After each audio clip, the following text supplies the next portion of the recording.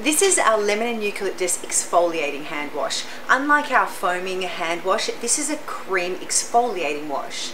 Now this was inspired by one of my best friends who asked me if I could make a hand wash that was a cream base so it would hydrate her hands. And it made me think, well, Yes, we can if we put that element of exfoliation in there. So it does have, it's like a face exfoliator, it's a cleanser, but it exfoliates. The same thing with our hands. Our hands are the first thing to show the signs of aging. Exfoliating takes those dead skin cells off and it hydrates as you wash.